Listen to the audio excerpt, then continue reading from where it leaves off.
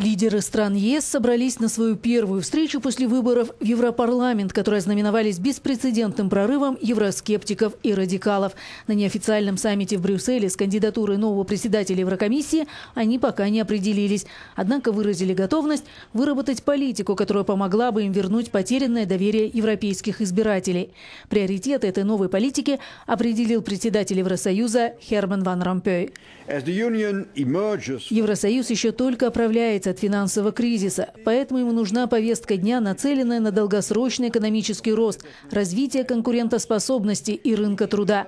Нам нужен развитой и хорошо отлаженный монетарный союз на фоне сохранения единства ЕС, сказал Ромпей.